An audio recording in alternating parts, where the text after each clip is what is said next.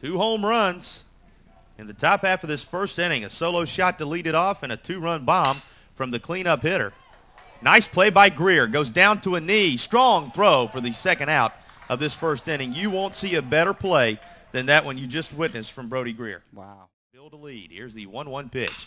Grounded by the shortstop and into left field. Stampler will score. They're going to send Lesh. Here comes the throw. It's cut off. 3-2 as the Spartans do answer back after being punched in the mouth. The 3-2 two-out offering. Called strike three. Inside corner. Augustine freezes begun, and the inning is over. They leave them loaded. And again, it's Zips end up adding three runs as a result, and here's the 0-2 swung on miss. Begun is tagged out for the third out of the inning on the strikeout.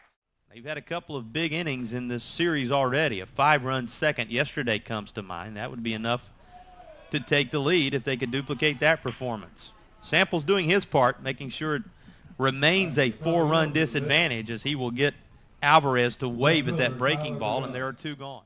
Five to win it here in the bottom of the ninth. They will tangle with LaRocca again, and the first pitch is bunted by Samples. Going to be a close play at first, and it's thrown down the right field line. Samples digs for second, and though his run comes the 2-2 pitch to Bumgardner.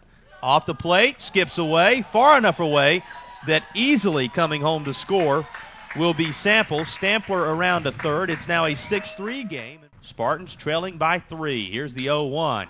Pops it up into shallow left. Backing up on it is Rimbalek. Off balance, drops the baseball. Coming home to score is Stampler. It's now a 6-4 game. Both runners are safe at first and second base, and it saves a chance for the powerful Trey Richardson